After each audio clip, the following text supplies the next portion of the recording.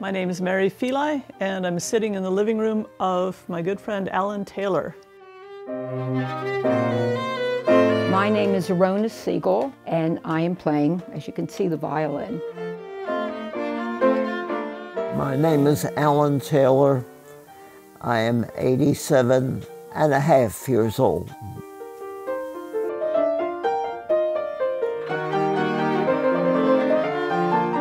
Usually every Monday I play duets with Alan, piano duets.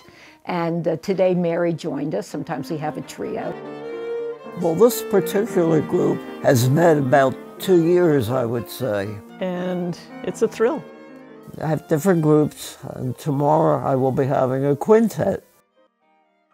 The Settlement School of Music is a wonderful place. There was a local newspaper, the Northeast Times, had a little advertisement about playing adult chamber music at Settlement School. You got to check out the Settlement Music School adult chamber players. The plus minus 60 senior players. I really did not know about this. And I started meeting all these adult, mostly retired players. We wound up getting involved down at the original branch, Queen Village. I actually ran the program for about seven years in the 20 teens. And it's there where I met Alan. I started playing when I was six years old. My mother had played the violin, so it was automatic that I would be doing something in the musical field. And uh, I suppose she chose the piano. I, I, really do not recall that, but uh, I'm certainly happy that she did. Alan is probably one of the most amazing chamber pianists I know in terms of just being able to sit down and read through anything, and he keeps the music going, and he just has a musical soul. I'm amazed at how well Alan plays. He'll play anything, and he can play anything. When you play with a player who's better than you are, it helps raise your game. And Rona is an excellent sight reader and just keeps the pace going, and it's just fun to play with both of them. I live in Northeast Philadelphia. I've been in my house for 61 years, and I have people coming in, I would say, every day of the week, except for this coming Saturday. So if anybody wants to come over here, you're welcome.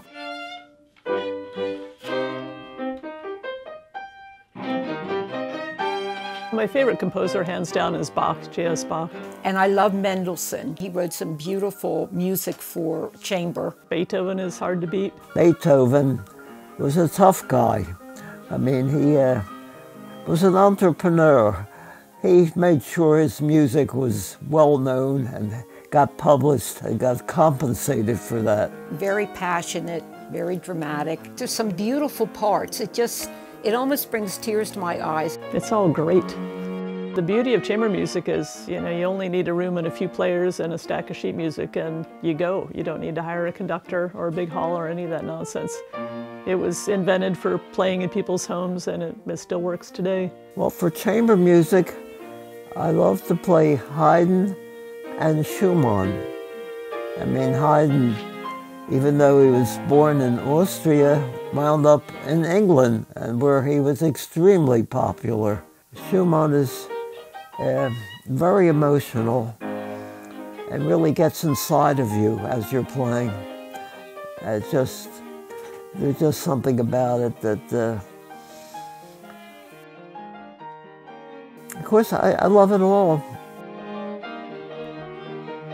We make scheduled dates when we are through playing so that we're sure that we're about to play again, maybe two, three weeks from now. And uh, this is just goes on and on and on like that.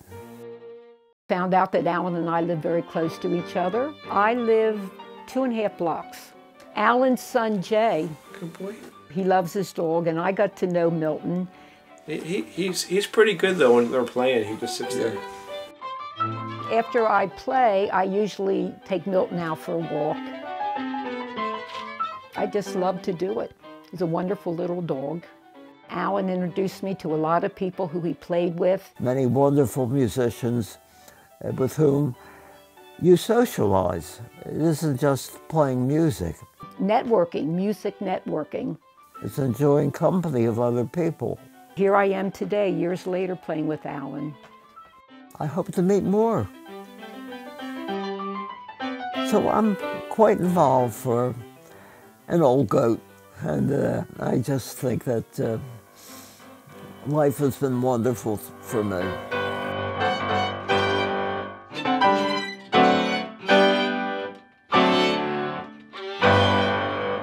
I'm just uh, grateful that we can do what we do and just continue.